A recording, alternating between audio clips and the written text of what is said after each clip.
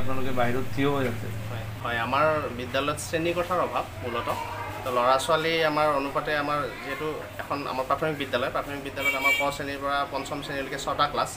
গতিকে ছটা ক্লাছ অনুযায়ী আমাৰ শ্ৰেণীকোঠা মাত্ৰ দুটা। তো সেই আমি দুটা শ্ৰেণীকোঠাত আমি ছটা শ্ৰেণী ৰাখিব লগা হৈছে।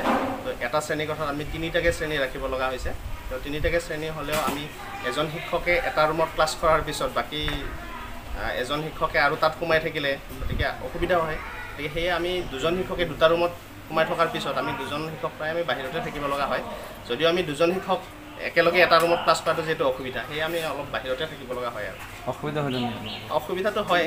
ল'ৰা আমাৰ অসুবিধাটো বেছি ডাঙৰ কথা নহয় কিন্তু তাৰ ফলত ল'ৰা ছোৱালীৰ ক্ষতি হৈ আছে। আমি এটা শ্ৰেণীকোঠাত এজন শিক্ষকে ল'ৰা ছোৱালীক পাঠদান কৰোঁতে যিধৰণে ল'ৰা ছোৱালীয়ে উপকৃত হ'লেহেঁতেন হয়তো আমি সেইখিনি দিব পৰা নাই যিহেতু আমি একেটা শ্ৰেণীকোঠাতে তিনিটাকে ক্লাছ কৰিব লগা হৈছে। গতিকে ল'ৰা ছোৱালীৰহে বেছি অসুবিধা হৈছে।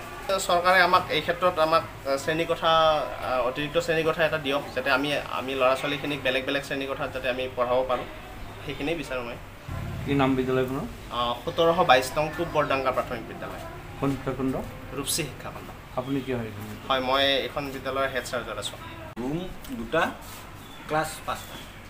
এইটো অসুবিধা গতিকে এই অসুবিধাটো আমাৰ এতিয়া নহয় মই স্কুলত আজি পাঁচ বছৰ হ'লে পাঁচ বছৰ ধৰিয়ে পাইছোঁ।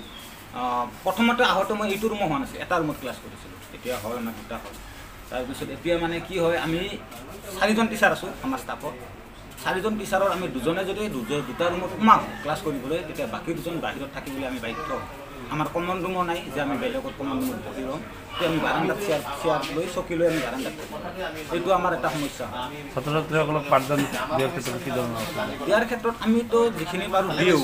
এতিয়া অসুবিধা হয় মানে একেলগে এটা ৰুমত যেতিয়া তিনিটা হৈ ক্লাছ থাকে এবাৰ আপুনি ভাবি চাওক ক্লাছ আমি শিক্ষা একেলগে তিনিটা কেনেকৈ কণ্ট্ৰল কৰিম? তাৰ মাজত আমি আৰু কোনোবাই এটা শ্ৰেণীক লিখিবলৈ দিওঁ এটা শ্ৰেণীক বুজাই দিওঁ।